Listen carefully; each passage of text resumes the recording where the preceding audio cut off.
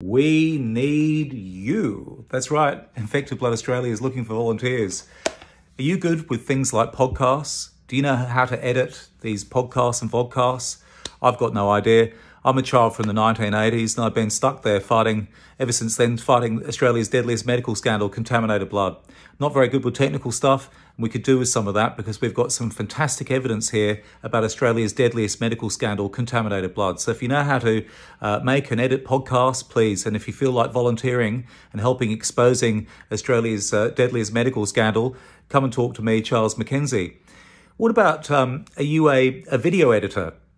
We've got amazing evidence here that's yet to be made into videos. We could even make a documentary, and Australia's deadliest medical scandal deserves some form of documentary. How did thousands of patients end up with deadly viruses from Australia's blood supply? So contact me, Charles McKenzie.